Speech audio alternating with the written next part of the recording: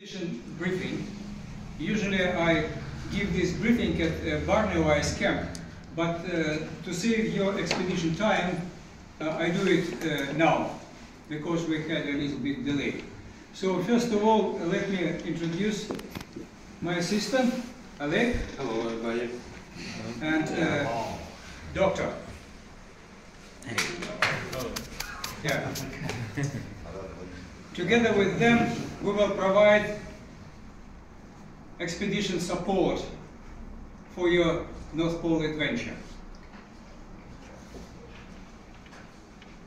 So very soon you will fly to the Arctic to Barneo Ice Camp.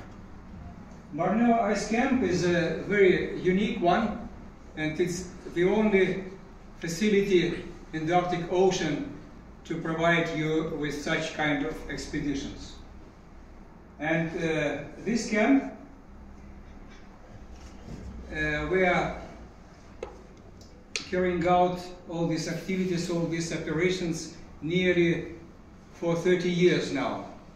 The camp is in operation only a short time, between normally between April 1 and April 29, because it's the best time of the year for flights and travel in the area of the North Pole.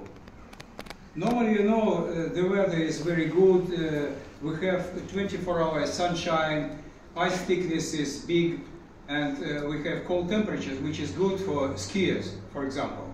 The open water freezes uh, pretty fast.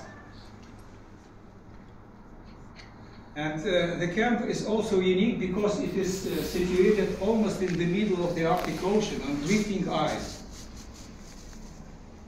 In, uh, in this point, uh, the Arctic Ocean is about 4,000 meters deep, and the thin top layer of ice is only 2-3 meters. You will travel on this ice. So uh, Barneo Ice Camp is uh, drifting together with the ice.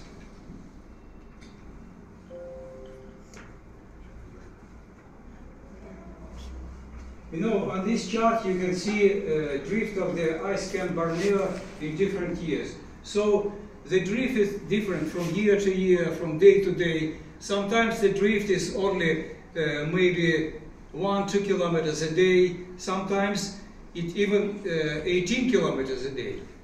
Ooh.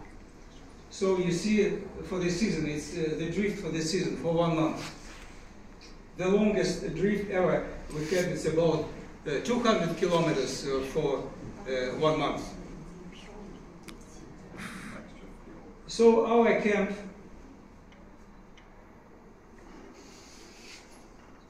Our camp now at the position uh, more or less about 88 uh, degrees 20 minutes north and uh, 111 degrees east. Uh, we have uh, 24 hours daylight, and at Barneo we keep Krasnoyarsk time, which is 4 hours ahead of Moscow and uh, GMT plus 7. So uh, on this picture you see general composition of uh, Barneo. So we have a runway to receive aircraft and we have uh, helicopter crew camp with helipad and Barneo ice camp itself. So the runway. The runway is 1,200 meters long and uh, 60 meters wide and the thickness of ice on the runway is about two meters. But it's enough one and a half meter thickness of ice to receive our aircraft. It's Antonov 74 or Antonov 72. We'll be flying with Antonov 72 aircraft. They are almost the same. Next to the runway, there is a helicopter crew camp. We have two helicopters, Mi-8, and two helicopter crews, altogether 11 people. It's not allowed to visit helicopter site without invitation. So, very soon you arrive to Barneo Ice Camp on this runway. So start disembarkation only with the signal with flight attendant and do not forget your hand baggage.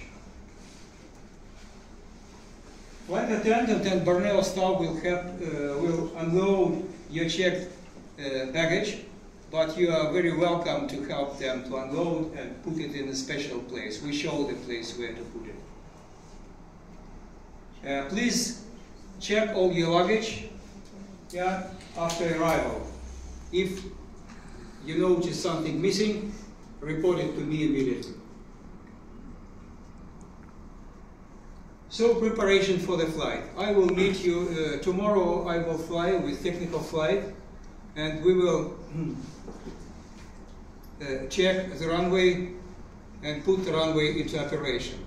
And I will meet you there. I will, uh, will meet you there. So uh, when you come uh, to uh, runway, and you will see the sleds, you will check everything I will prepare white gas canisters for you and you will start picking all equipment. So, flight to the starting point of your ski expedition.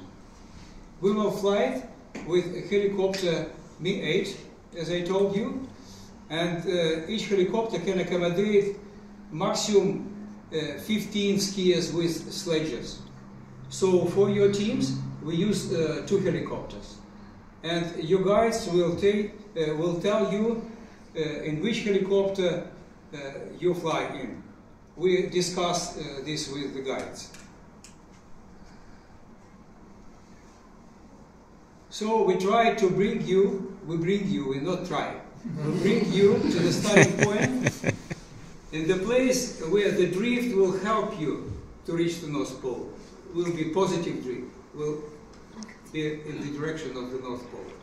Because sometimes it happens that uh, ice drift changes and for example you camp somewhere on ice and you sleep during the night and in the morning you wake up and see that uh, you are further from the North Pole.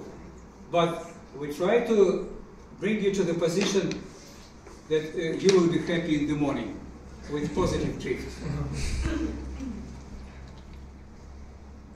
So preparation for the uh, preparation for the flight. That's Dixie in that last picture.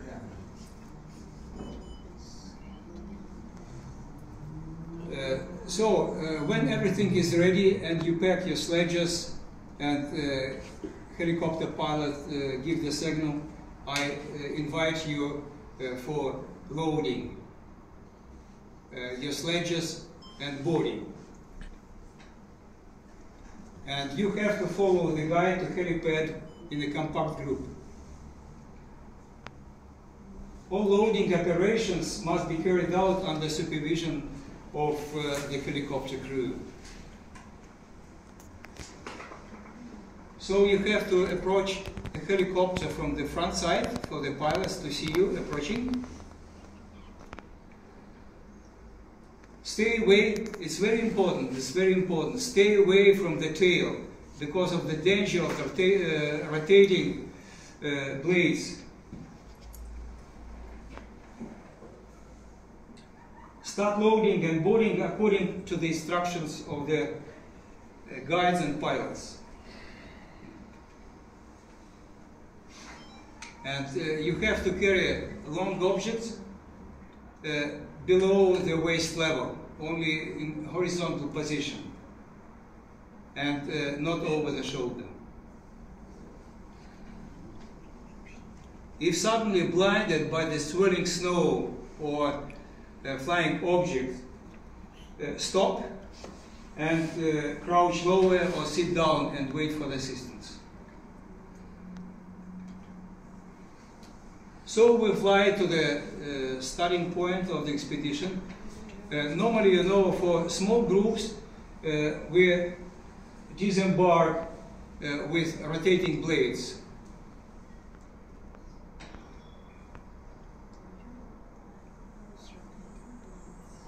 So in this case, you have to leave helicopter as soon as possible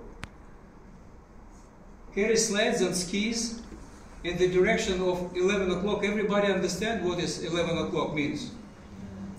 You see, and 11 o'clock is this way from the helicopter, yeah. At least 30 meters from the helicopter.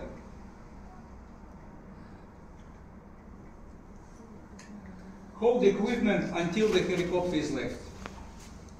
But if there is a big group, we switch off the engine and you will uh, you will unload your sleds easily, but always beware of the tail hazard of the propeller, and also you have to carry your sleds in the direction of 11 o'clock, but without blowing wind.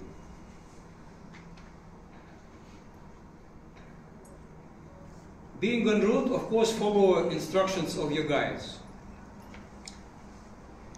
Hope you will have an awesome journey in the Arctic. Enjoy the Arctic and listen to the sound of the Arctic Ocean. It's uh, alive.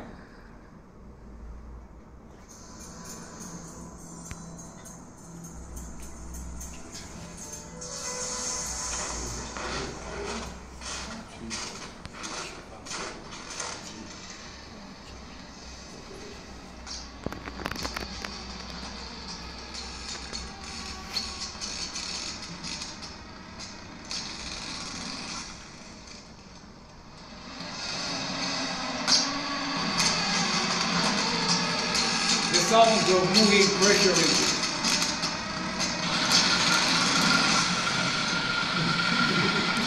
Wow. This is scary?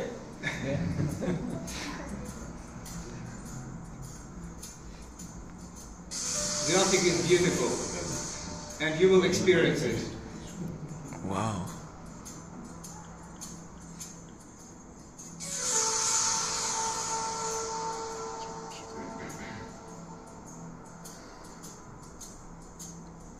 By the way, you will travel uh, early spring, and the sun will be only about uh, three to five degrees above the horizon. It's very good, uh, very good light, very good photo- photography.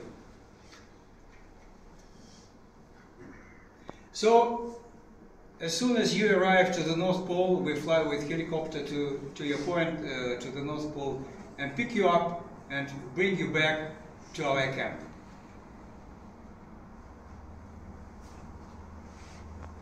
Thank you very much for your patience.